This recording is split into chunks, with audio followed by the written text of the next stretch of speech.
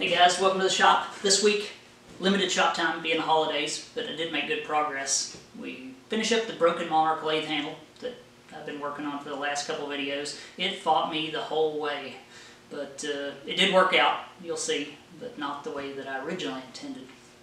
We make a custom internal threading tool out of a worn out carbide end mill that some of you guys may be interested in making for yourself because they really are amazing little tools. And then you'll get to see what's been eating up my shop time this week and will what will probably eat up my time next week, my wife's Christmas present. It's at the end of the video. Some of you guys may be interested, some of you guys may not. But anyway, thanks for watching guys. Let's get started. So in last week's video, we got to this point here on this broken Monarch lathe handle where we need to you know, make this end look similar to that end. Now, we already machined the piece last week, and we just need to join these two together. And I think it's going to work out pretty well. This is a pretty good fit. We're going to try silver soldering it on, and then we'll go to the mill after we've joined it and, uh, you know, clean it up, get it to where it looks factory. But there you go. Let's get this thing cleaned up and then, uh, you know, prep it for brazing, or for silver solder, because that's what we're going to use.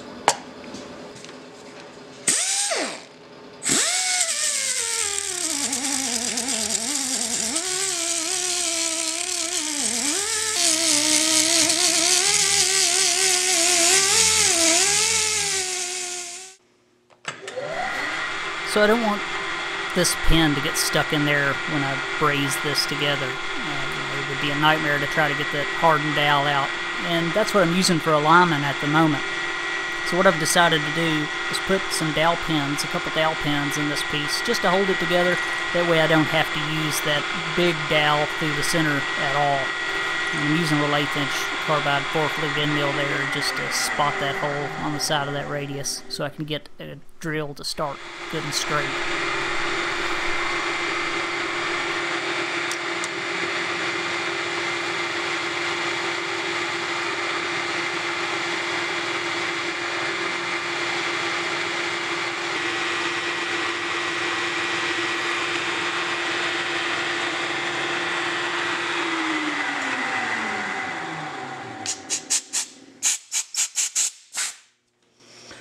Alright, so now it's time for little reamer, just a little 1 8 reamer.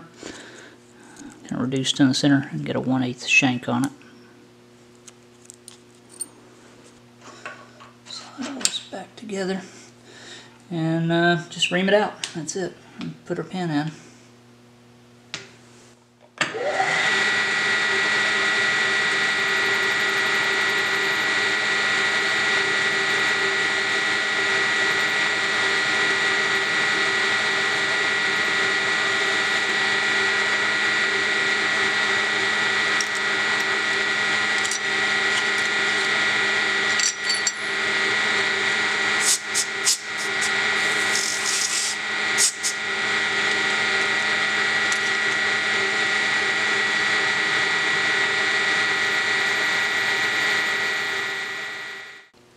So I think that should be it.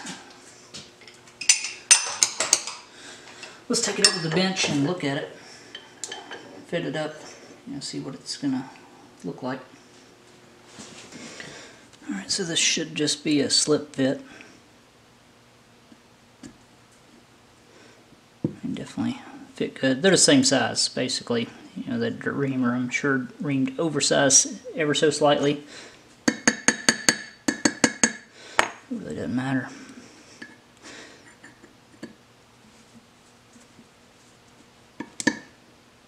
There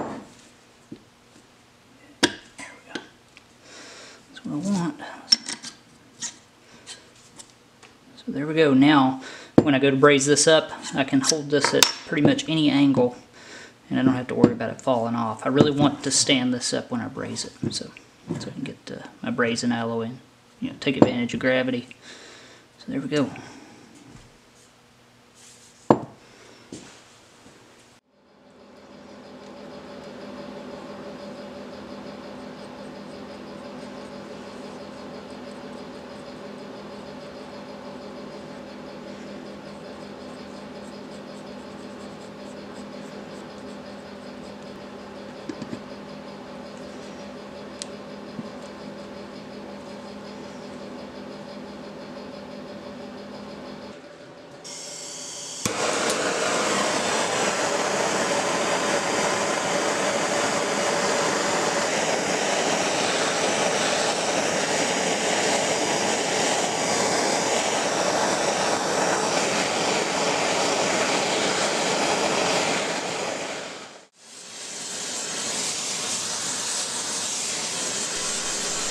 So I tried really hard to heat this thing up slow and even.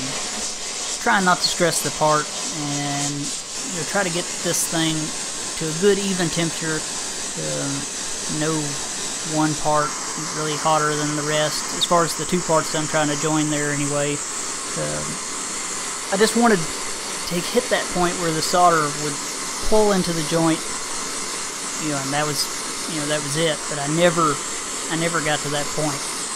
It just, it adhered in some places. It drawed it in really on one side, but uh, it just wasn't a good joint.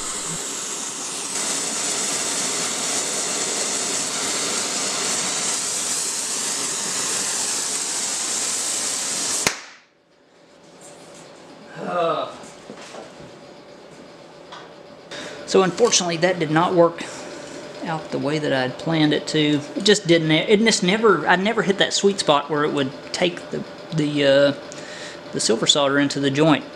You know, it was. I'm sure it was a combination of flux and heat control. Just I'm not as as experienced at silver soldering as I am at brazing. So I'm sure it was something that I'd done. It did take in some places and then not in others. Probably, I'm sure it was heat control. You get the idea just gonna have to do what I originally thought originally planned, and that's braze it. So still pinned, still in line, no harm done. I'll just burr it out and uh, heat it back up and you know do the old faithful braze.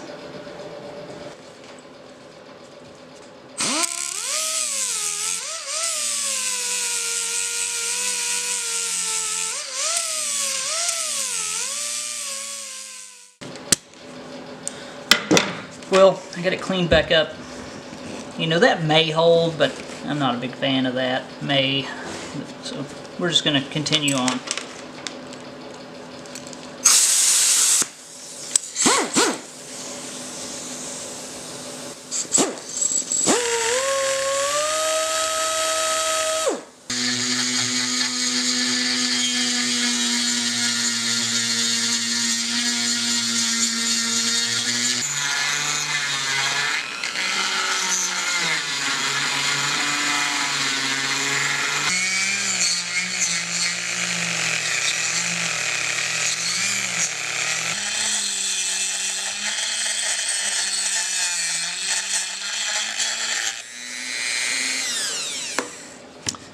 Man, I'm that. Alright, so I'm all burred out fairly heavy here. Almost all the way through, all the way around. Got it on a rod here, just so I can kind of position it in the vise and use gravity to my advantage. So this should work. I'm gonna preheat it, flux it good and heavy, and uh, brace this thing together.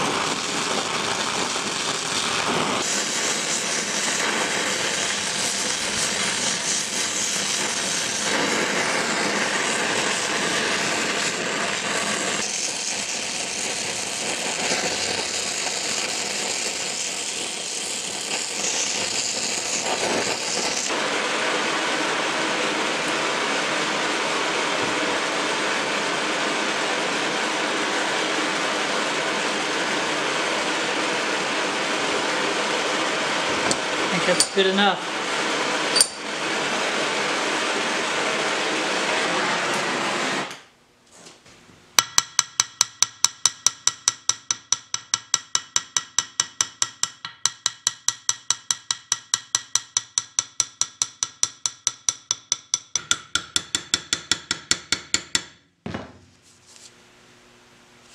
So that definitely turned out nice. You know, we'll clean that up. A little bit of junk in the bore, a little bit of braze there at the very back, which I expected. But for the most part, that's pretty good. Now just clean that up and, uh, and it'll be done. Looks like I got one little spot there that didn't fill, but it's good enough, I think. Just using a safe edge file. Peanut is in the attic. Peanut the squirrel. Driving me crazy. Safe edge file using around this edge here so I can try to you know level it on that edge, hold it square, and just work my way around the way I can you know just file this into shape. It doesn't have to be perfect.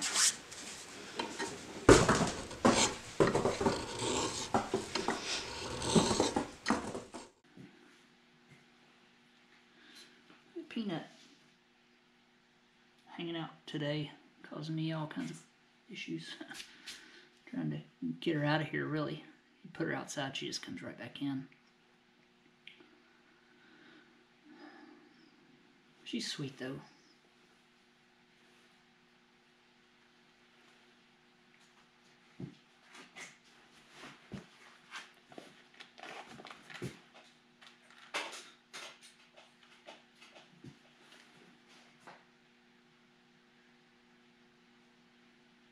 They're the smartest animal on the planet. But smarter than you'd think.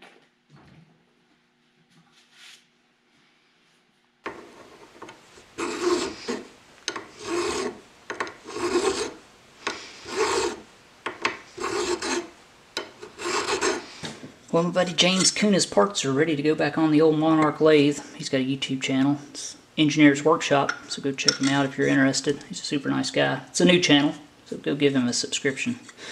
But there you go. I think that turned out about as good as it could. I wish that silver solder would have would have worked like I planned. But I don't have as much near as much experience silver soldering as I do brazing, so I'm sure it was you know just lack of experience. But it turned out good nonetheless. I'm glad that I pinned it that way.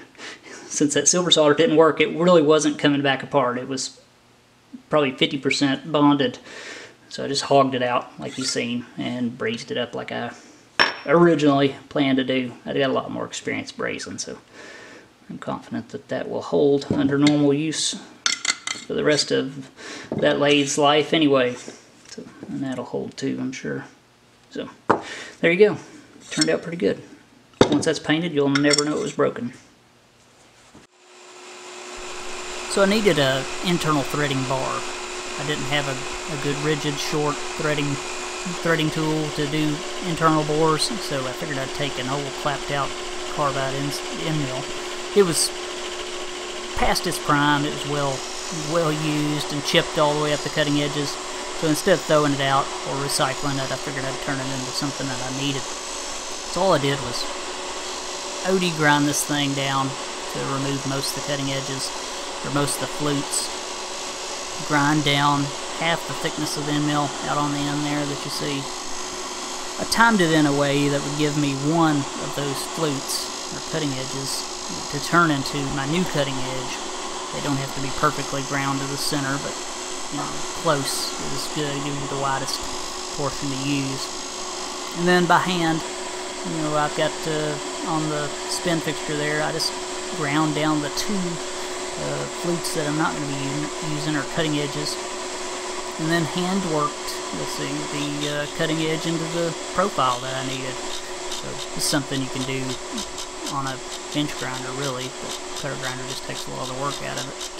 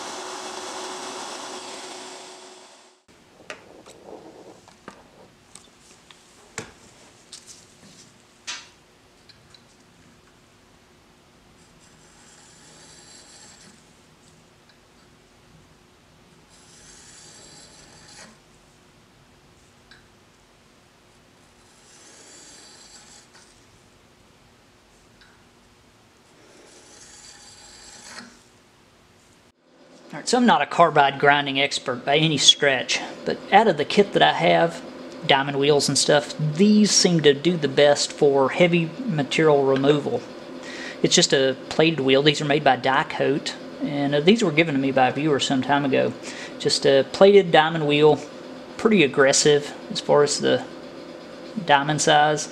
It's kind of small. I wish I had a bigger one, but you get the idea. If I want to remove some carbide, these work really well. They don't break down near like the uh, near as quick as the uh, you know your standard re standard resin bonded wheel.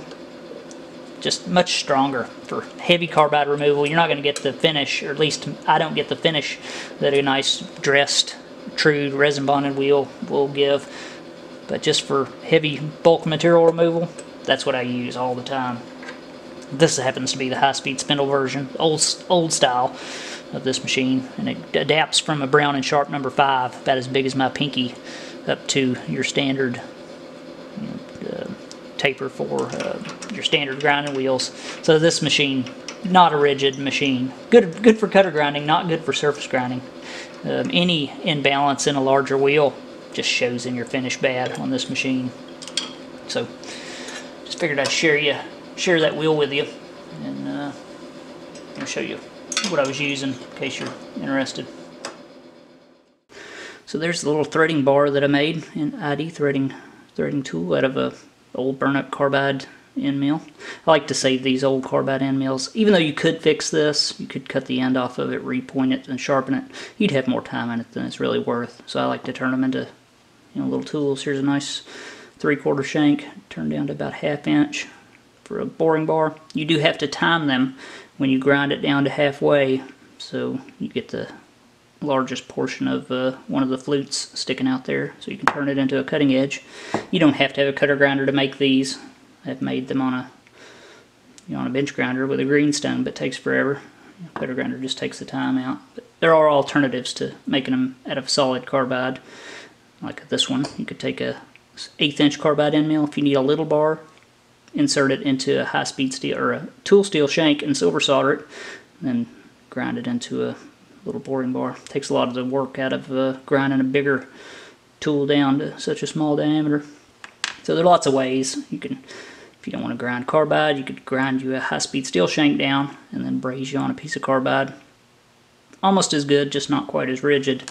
But I've made lots of them over the years, and they really are handy. I use them all the time. If you go to buy something like that, it's going to cost you pretty good money. So if you got the time, you can just grind you one out. I just ground the profile the 60 degree by hand simply because it's quicker than doing you know all the setup on the grinder. There you go. I'll show you a little clip of me using it. Um, I had to cut an internal thread on this hubcap, hubcap, this grinding wheel hub nut. I didn't have one for this hub, I still haven't cut the, drilled the holes in it, but you know, it's almost done. I've showed me making these before, so no reason to show the whole thing. Figured I would show you me making the tool and using it. Just finished it out, the cutting edge by hand with a diamond lap. So there you go. You spend you a little time, make you some nice rigid cutting tools for very little money.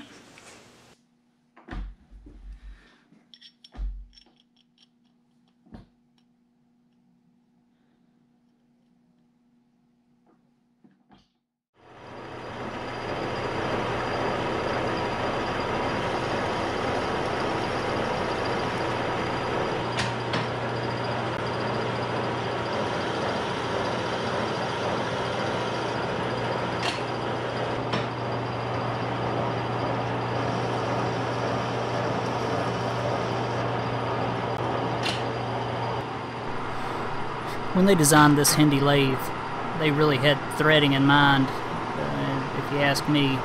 It has a reversible lead screw. It's a handle I'm manipulating down to the right. So reversing the lead screw now, you know, removing, removing the tool from the work, set my depth of cut, and then engage the lead screw forward and it threads in. I never have to disengage the half nut. Just handy on really short threads to be able to just disengage the lead screw and reverse it. It's just faster.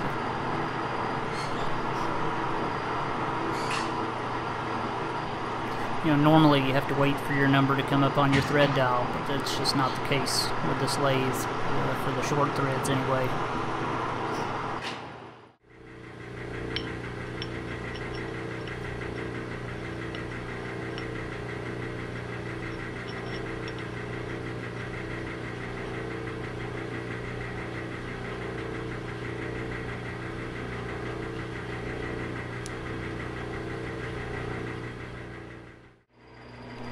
It's like you've seen me do in the past. I'm just going to trepan this nut out with a trepanning tool that I actually ground you know, some time ago for trepanning plastic. It's a really long tool, not suited for trepanning steel really, but I figured, you know, it'd be fine as long as I took it easy.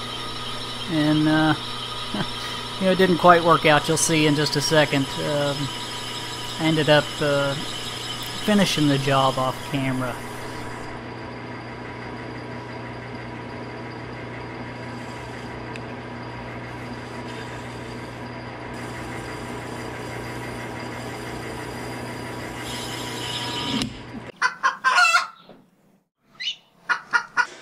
So this CBN wheel that I have on the cutter grinder here is not running completely true. Now I did balance it and I want to dress this wheel also to try to make it run a little better. And I'm going to be trying this little brake dresser. It's not a brake dresser. This little grinding wheel dresser for CBN or Diamond. It just runs a little wheel at an angle to the wheel that you're trying to dress. This little cast iron base. I'm just going to use the mag chuck here to hold it. McMaster Carr still sells these. If you look up wheel dressers, this will come up. And they're reasonably priced considering the price of an actual brake dresser. It's over a thousand bucks, I think. But this one's, I think, a hundred bucks. You can still get the replacement wheels for these, but this wheel's still got a little life in it, so I'm going to run it on out. You get the idea? To try to dress this wheel and make it run a little truer.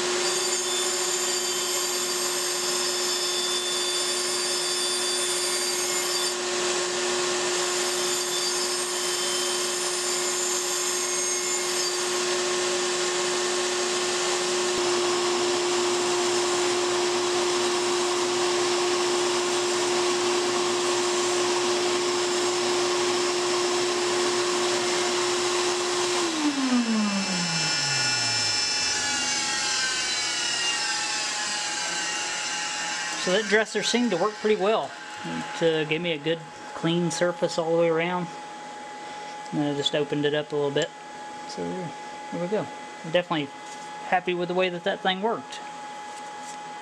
It's only the second time I ever used it.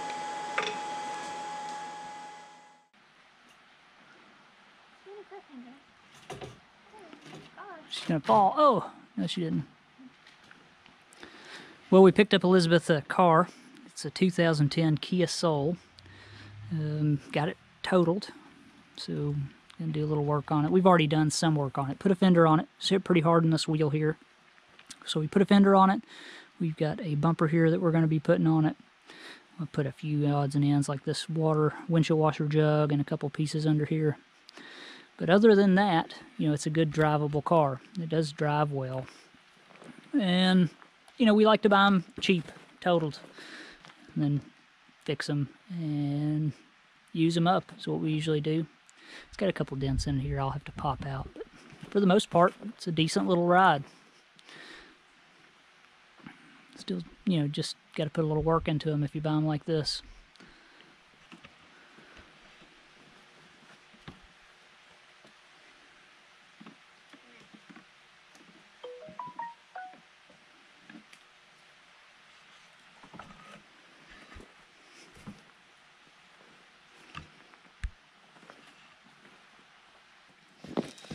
This is the way that I like to buy cars. When they're at a point where nobody else wants them, totaled, really. We got this car for you know, a quarter of the price you could buy it running and working. And, you know, parts are relatively cheap considering the cost of a car like this in running and working condition. This is a 2010 with, you know, average miles on it. I'll replace the front bumper. I've already replaced this front fender. I always buy my parts pre-painted. It's just cheaper that way. I replaced the water jug on it. I'll have to replace both headlights simply because this one's broken and the other one's kind of you know, scuffed. I replaced the engine cradle up under this, or my brother did. I actually bought this car from him. He buys totaled cars, totally repairs them, and then sells them. It's just the best way to get into a car like this for, for you know, two thirds the price or less than you could buy it otherwise, and no car payment. So have to replace the tie rod end. It took a pretty good hit on this front wheel, but the car drives great and runs great. So a little bit of repair, and you know we're back on the road, and we'll use it on up, and then get another one.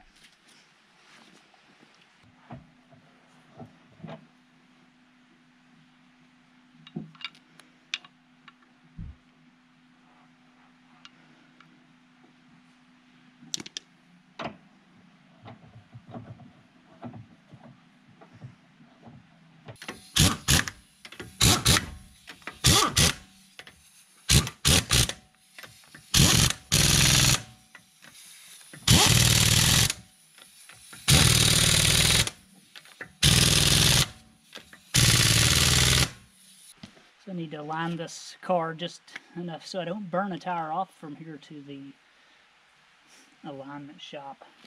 So steering wheel straight. This wheel never touched any of the workings on it, so it should be in line. So just take a string, pull it tight. This wheel square with the back wheel within reason. Go to the other side where the damage was. Do the same to it drive it to the alignment shop. And usually that gets you pretty close. It's better than just guessing. So, as you can see, this one definitely out compared to the other side. So I'll just tweak this wheel out. And, you know, it'll be good enough to where we can uh, get it uh, to the shop.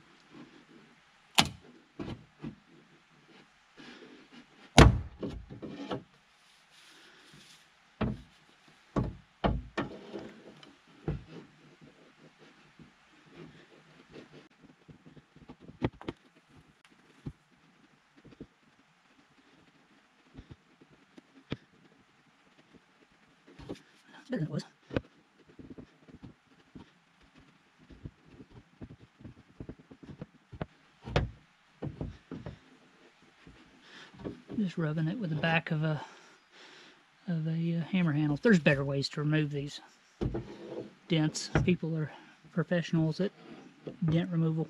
This this will be good enough, I think, for what we need.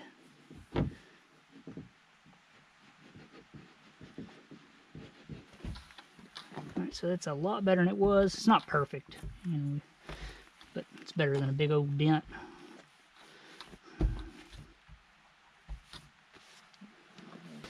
So all I did to get to that dent was take off the door panel, which pretty pretty simple. This was, I'm glad I did because this was hanging loose anyway. I don't know if somebody had been in here or not. just keeps down the wind noise. Let to tape up those bad spots. There you go. Non-professional dent repair. So this is a 2010 uh, little Kia, and it was owned by some young girl who used it as her mobile dumpster. Yeah, I'm not trying to make this car perfect again because it never will be, but I don't like riding around with five-year-old french fries under the seat either. So I'm just pulling the seats out. We'll take them, we'll pull the covers off, wash them, put them back together, and at least won't have, you know, goo in them. Somebody, you want to make a car filthy, eat and drink in it, and then smoke at the same time. It covers everything. this car was also hit in the rear end, not real hard, but hard enough to tweak the latch where the dash light showed that the hatch was ajar or open, uh, you know, the whole time. So I had to improvise, which is what I've done a bunch of times. Just take my truck and hook to it with a come along, pull the bump, back bumper off, and just pull it back out. It's, it wasn't bad at all. It was maybe moved in an inch. Uh, it did break uh, the little bumper, fiberglass bumper support, so I had to put one of those on it. But, yeah, they're not that expensive.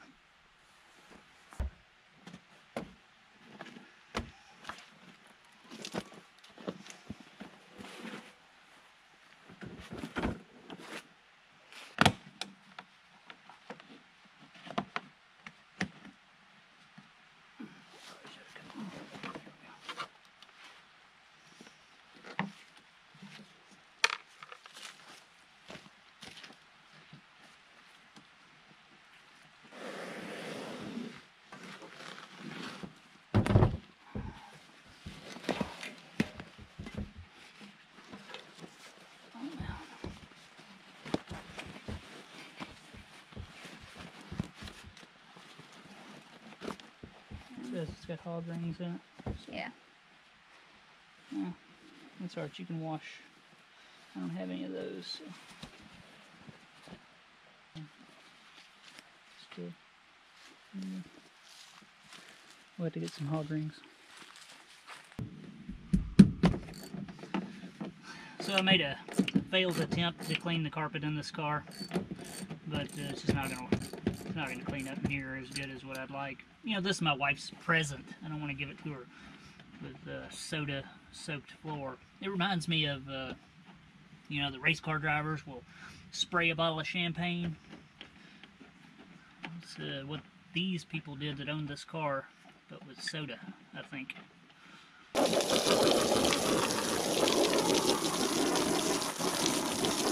This is the only way I know to actually clean carpet.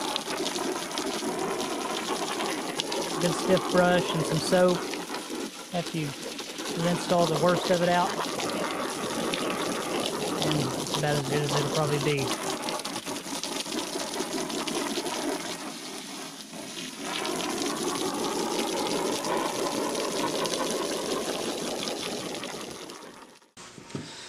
Well, guys, that's it this week.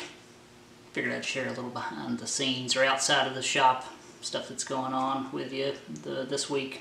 It's been the majority of the time that I've had this week, so I figured I'd film a little bit of it, show you what's going on. I wanted to get my wife a car. She's been wanting one for a long time. She wanted a Jeep, but then she wanted one of those little Kias. That's what she wanted. So that's what she got. Uh, almost every car that we've ever owned has been an auction car or a totaled car. So I don't worry about buying them like that. Uh, you assume the motors and transmissions are good in them when they wrecked them, so you know, it's kind of a it's, it's a risk. But you usually get them so cheap that they're that it's worth it. It almost always has been. If you can fix them yourself, that is. You wouldn't want to have to pay somebody to do all that. You get the idea. You know that's that's the way we do it around here. No car payment. I can't uh, I can't stand those every month. So hopefully next week we'll get back on the do-all saw. There's some things that I want to do to it. I'm definitely glad with the way that the handles come out for the old Monarch. So, uh, James will be happy with that. And that's it, I think. You know, most of the little things I did this week were not even, I didn't even intend to show, but I did shoot some film and I figured I'd share it with you. It's stuff I wanted to do. So, that's it. Send me an email if you need anything. Click on my little guy to subscribe to the channel. Huge thanks to my viewers, my patrons, new and old, my subscribers. That's it. Thanks for watching, guys, and I'll see you next time.